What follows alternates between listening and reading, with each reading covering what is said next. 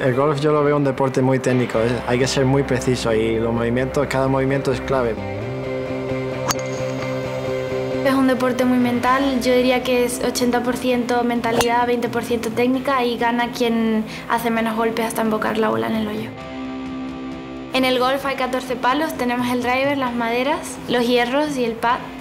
El driver es el que más largo pega, luego los hierros son los que tiran a green y el pad por último es el que emboca la bola en el hoyo.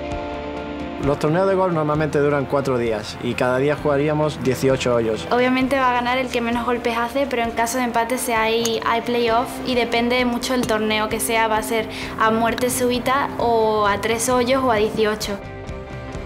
Para llegar a los Juegos Olímpicos de Río de Janeiro 2016 hay que estar entre los 60 mejores profesionales del mundo. El programa de becas Podium de Telefónica nos ayuda día a día a cumplir nuestros sueños y sobre todo eh, nos ayuda económicamente porque el deporte del golf es un deporte muy caro.